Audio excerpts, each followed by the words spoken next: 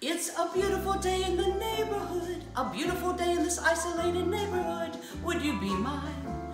Could you be mine? I've got my music and my sweater and my crocs. What could be better? Could you be mine? Could you be mine?